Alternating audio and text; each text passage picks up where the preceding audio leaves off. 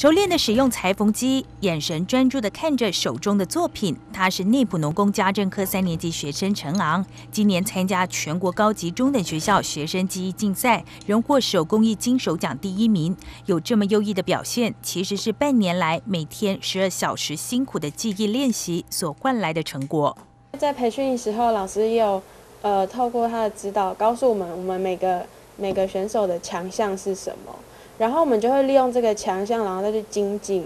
然后发挥在比赛上面，就是用一些拼布的技巧，然后在一些刺绣技巧，拼布跟刺绣技巧，然后在一些在一些呃设计感吧，加在一起，就完成那个作品。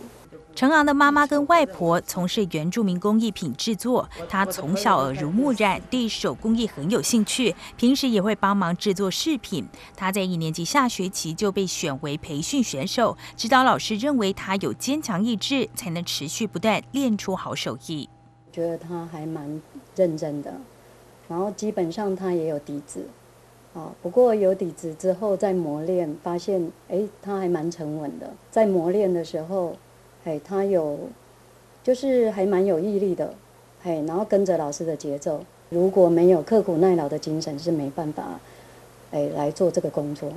内埔农工表示，技职教育提供学生一条适性的道路。全国技艺竞赛奖前三名可以既有保送理想的四技二专。今年学生除拿下金手奖第一名，也拿下团体第一名，让全校学生都看见，只要肯努力，就有机会找到发光的舞台。屏东新闻张荣杨正义采访报道。